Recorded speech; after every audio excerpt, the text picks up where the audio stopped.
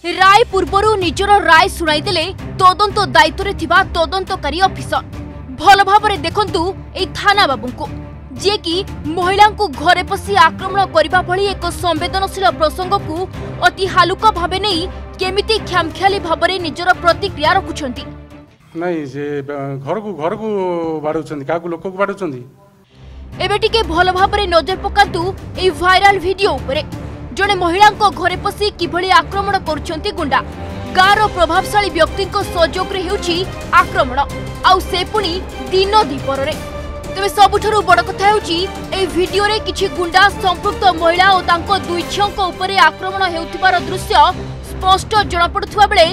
ବୋଲଗଡ଼ ଥାନାରେ ତଦନ୍ତ ଦାୟିତ୍ୱରେ ଥିବା ଥାନାବାବୁ କିନ୍ତୁ କହୁଛନ୍ତି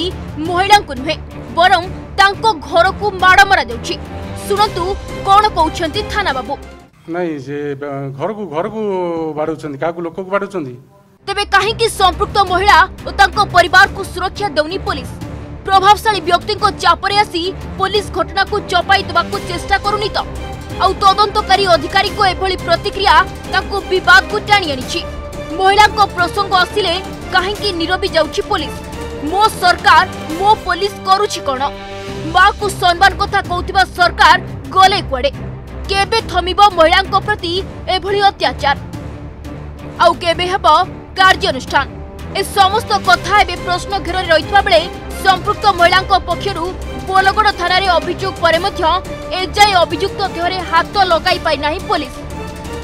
ଯାହାଫଳରେ ଅଭିଯୁକ୍ତମାନେ ଖୁଲ୍ଲମଖୁଲା ଗାଁରେ ବୁଲୁଥିବା ବେଳେ ପୋଲିସର ସୁରକ୍ଷା ଲୋଡ଼ି ଆମ ଜୀବନ ପ୍ରତି ବିପଦ ଥିବା କହିଛନ୍ତି ପୀଡ଼ିତା ଆଉ ଏବେ ମଧ୍ୟ ସେ ଗାଁରେ ବୁଲୁଛନ୍ତି ସେମାନେ ଦି ଭାଇ ଯାକ ତେଣୁକରି ଆମ ଜୀବନ ପ୍ରତି ଏବେ ବି ବିପଦ ଅଛି ଯେହେତୁ ସେ ଦିନ ଦିପହରେ ଘରେ ବସିକି ବାଡ଼େଇଲେ କିଛି ନା ଗାଁ ଲୋକ କିଛି କହିପାରିଲେ ନା ପୋଲିସ କିଛି ଆକ୍ସନ ନେଲା ତାଙ୍କ ବିରୁଦ୍ଧରେ ନା ତାଙ୍କୁ ଶାସ୍ତି ଦେଲା ତ ଆମେ ଯେହେତୁ ଘରେ ଏବେ ଅଛୁ ଆମେ ଏବେ ବିପଦରେ ଅଛୁ ଆଉ ଏବେ ପୋଲିସ କିଛି ଆମର ଆଶ୍ରୟ କିଛି ଦେଉନି କି ନେଉନି କି ବୁଝୁନି ସେମାନେ ଏବେ ବୁଲୁଛନ୍ତି ଗାଁରେ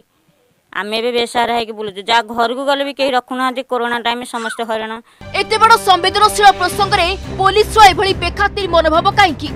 ବଡ଼ ଲୋକଙ୍କ ନାଁ ଆସିଲେ କାହିଁକି ପ୍ରଭାବ ଶୂନ୍ୟ ହୋଇଯାଉଛି ପୋଲିସ ପୀଡ଼ିତା ଓ ତାଙ୍କ ପରିବାର ପ୍ରତି ବିପଦ ଥିବାବେଳେ କାହିଁକି ଚୁପ୍ ପୋଲିସ ବ୍ୟୁରୋ ରିପୋର୍ଟ